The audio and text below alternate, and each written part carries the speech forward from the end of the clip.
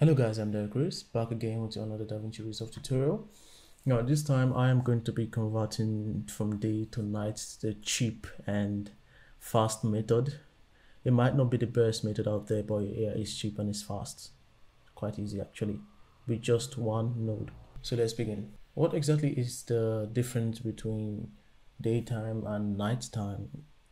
To be honest, not quite much because yes, the sun is big and large and it's way brighter than the moon but it's far away really really far away.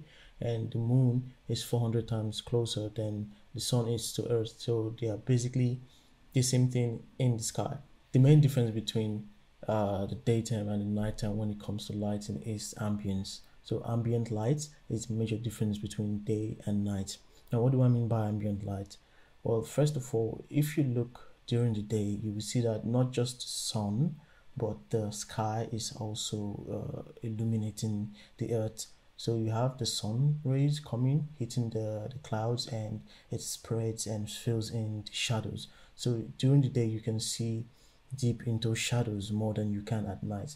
Now because the moon is smaller it doesn't have that much uh, brightness and that much spread to really illuminate the sky. Now it does but really really little, not as much as the sun does, so you don't really get to see deep into the shadows. Now, there are other little differences, but this is just the major difference between uh, daytime and night. So now let's try to replicate exactly that in uh, color grading software, which is DaVinci Resolve 18.5.1, I think. Mm -hmm. Yeah. Now this is the footage from the film The Kingfisher. I'm pretty sure you have seen it. This is it in the raw format and we are just going to achieve the day to night look like we did in the film in just one node maybe one or two i don't know but just one node. Now let's go. So we are going to add a node here what else as you usually know. And then we'll just go to it primary simple as that.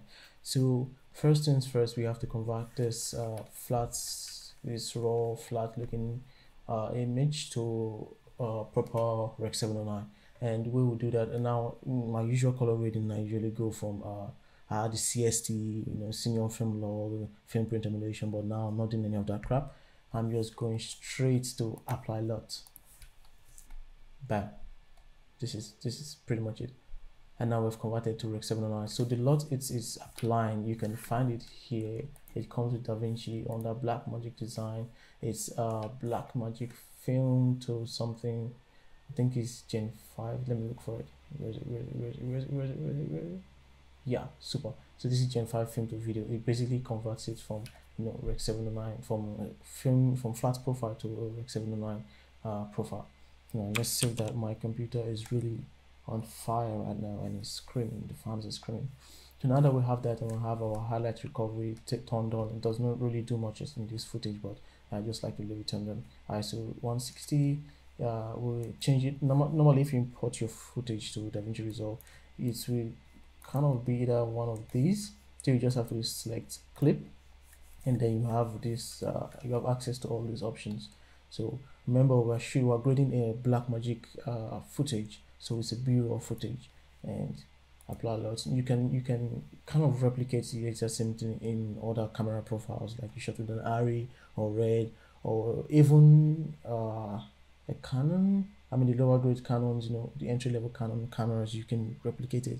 You just have to look for uh, different settings. But right now, we're working with the BRAW footage. So now that I have all this selected, first things first, I just take my color temperature down, basically to the the the lowest. So I have to reduce my playback to half, so my computer can you know work in this. It's not the best computer ever. So now after doing that, you'll have a cool temperature that kind of replicates the um, moonlight we see because moonlight is kind of cool. It's not exactly blue in real life, but this is, uh, when it comes to film, this works. So now let's take our exposure down. Maybe about here. I think here it's fine. And my computer is really, really slow, so let's see make this half a quarter and see if that will be faster. Oh you know what? Just give me a moment. Okay it's already 1920 by 1080 so it should work. So now that we've taken this down you can see it's already looking kind of good. We haven't used this node yet so we're just working on the camera roll which does not really utilize this node. I can turn that off and on and it makes no difference. Let's save that. So now that we have this here now i want to utilize this so this is pretty much all i'm going to touch here. Okay except this.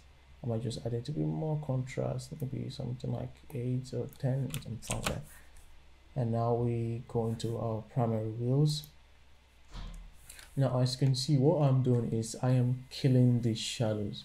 So i do not want to see uh, detail in the shadows because during the night time we don't see as much detail as we do during the daytime. So i want to kill a lot of this ambience that's here. So the way i'm going to do that i will take my lift down not too much take my gamma yes bring my lift back up a bit gamma back up a bit. Now you are allowed to take it down as much as you like. I mean even if it's almost pitch black because i've seen a lot of films that are really really dark and difficult to see but if you want to do it the real professional way and the real good way uh, i would suggest that when you are shooting during the daytime and you know you're shooting for uh, day for night scene you should kind of add extra lights on the faces so that when in grade in post you're trying to kill this ambience you still have a lot of lights illuminating the face. So you can add that with like a reflector or maybe an extra light so that um, you have a lot of light. But you know I didn't do that so let's let's work with what we have so now we'll take this down even more to really kill. It's not so much that you cannot see anything at all.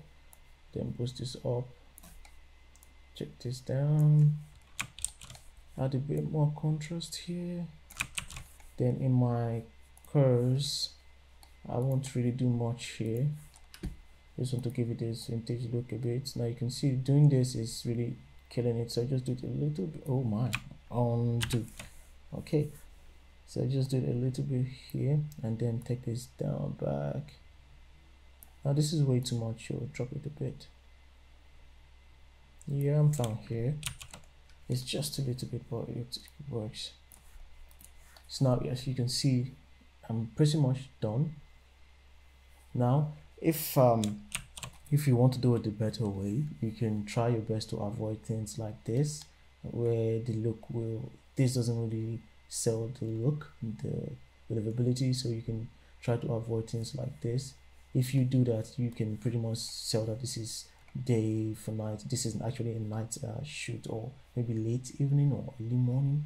But yeah this is the best uh, we can get currently. It's quick it's fast and it's easy. Yeah. So as you can see this is the before and this is the after kind of good. So yeah guys that's it. That is the very quick and easy way to turn day to night in DaVinci Resolve. Thank you guys for watching. I am Daryl Chris. Goodbye